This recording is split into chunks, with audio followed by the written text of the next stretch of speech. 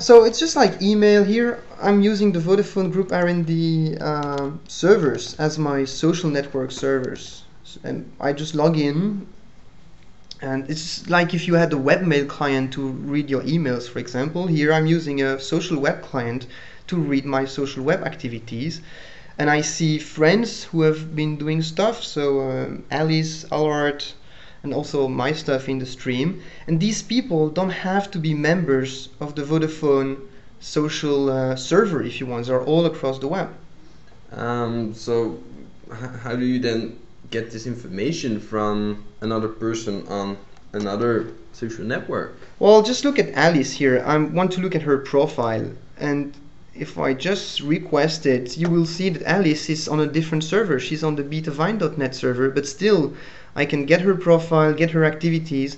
So when I do the request in my client, my server is going to negotiate with the Betavine server to obtain that information. And of course, this is all seamless uh, for the end user. And and just say you would like to share something with a person on another social network. How would that work?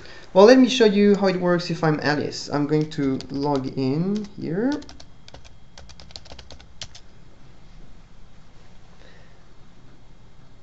And Alice can share status updates, but also uh, pictures, videos. So this is really like all the, the stuff you see on all these uh, networks out there. So I'm just going to put a status message.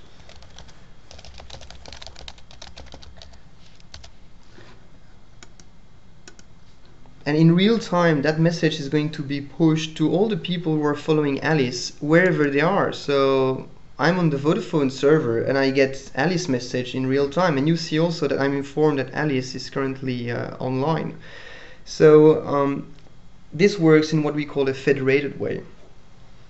Okay, um, looks cool so far. Um, I think we will call it a day for now. Uh, if you would like to get more information uh, on this whole project, maybe you could go to uh, onesocialweb.org and we have plenty of information there or if you want to get in touch we're looking forward to some interesting discussions.